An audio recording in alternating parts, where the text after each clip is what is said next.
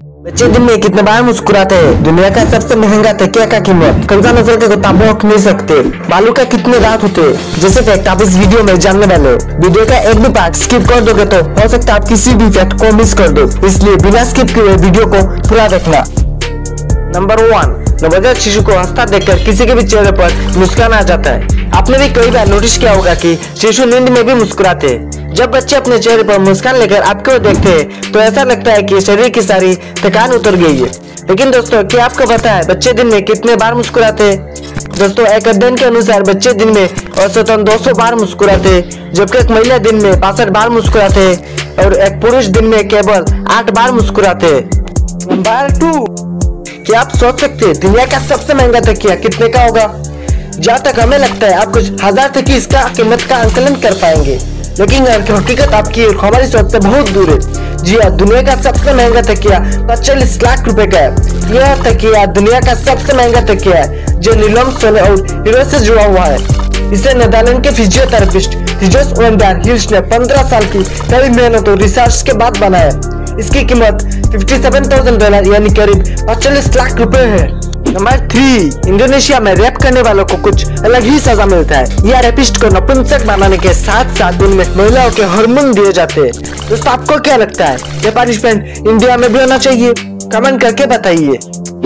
Number four दोस्तों अभी जो पक्षी देख रहे हो वो कोई आम पक्षी नहीं है। ये पूरी दुनिया में सिर्फ़ 201 बच्चा है। ये पक्षी विलुप्त तो प्राप्त हो जाती है जिसका नाम है काकापो पक्षी। दोस्तों ये एक तोता है जिसका वज़न डेढ़ से दो के जी तक होता है मतलब एक बिल्ली जितना वज़न होता होगा नंबर फाइव दोस्तों चाइना एक ऐसा देश है जहाँ के लोग से लेकर उनका खाना पीना सब कुछ अजीब गरीब होता है दोस्तों चाइना में फ़र्स्ट जनवरी के दिन हैप्पी न्यू ईयर नहीं मनाया जाता वो इक्कीस जनवरी से बीस फरवरी के बीच हैप्पी न्यू ईयर मनाया जाता है और उसको वो लोग हैप्पी न्यू ईयर नहीं बोलते चाइनीज़ न्यू ईयर बोलते हैं कितना अजीब है ना चाइना नंबर सिक्स। दोस्तों, आँख बंद करने के बाद हमें जो कलर दिखाई देता है, वो असल में ब्लैक कलर नहीं होता है। ये एक यूनिक कलर होता है, जिसका नाम आइगेंग्राउ है। आप दोनों में डिफरेंस देख सकते हो। दोस्तों आइगेंग्राउ एक जर्मन शब्द है, जिसका मतलब हम लिंगुआ कलर भी बोल सकते हैं। Number seven. दोस्तों, अगर आपका स्मार्टफ़ोन एंड्रॉइड है तो आपके फ़ोन में गूगल तो ज़रूर होगा। और आप किसी भी चीज़ के बारे में जानना चाहते हो तो आप गूगल पर पता कर लेते हो। लेकिन जब आप गूगल पर two four one five four three nine zero three search करते हो तो आपको फ्रिज में गर्दन डले हुए व्यक्ति की तस्वीर मिलेगी। ये फैक्ट तो अमेजिंग था, है ना? नंबर एट दोस्तों, बासिंजी नस्ल के कुत्ते लोटे ऐसे कुत्ते की नस्ल है जो पक नहीं सकते। दोस्तों, ये सेंट्रल अफ्रीका में बनाया जाता था। ये हंटिंग डॉग है और ये बोक नहीं सकते, इसलिए इनको बार्कलेस डॉग भी कहा जाता है।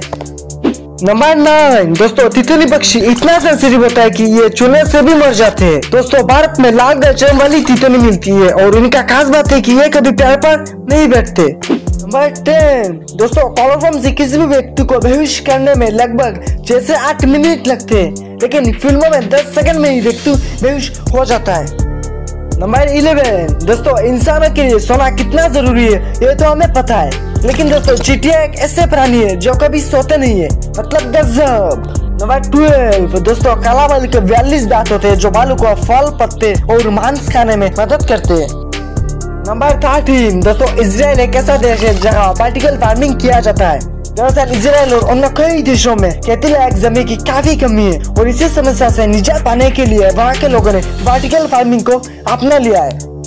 दोस्तों, आज का हमारा वीडियो यहीं पर खत्म होता है। उम्मीद है हमारा वीडियो आपको पसंद आया होगा। अगर वीडियो पसंद आया तो वीडियो का लाइक करके चैनल को सब्सक्राइब कर दीजिएगा। मैं मिलता हूँ आपसे और एक वीडियो में। तब तक के लिए गुड बाय वंदे मातरम।